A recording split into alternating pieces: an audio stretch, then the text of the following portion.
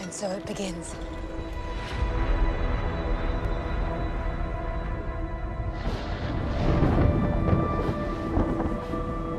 I'm not sure your instruments are much use to us now.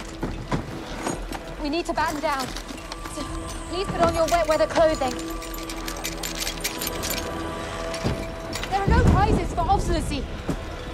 James, if you won't listen to me, listen to that.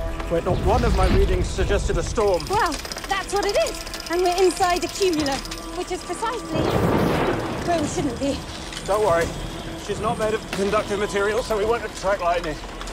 And if we are struck, the gas will explode, so we won't live long enough for me to push back. Ah!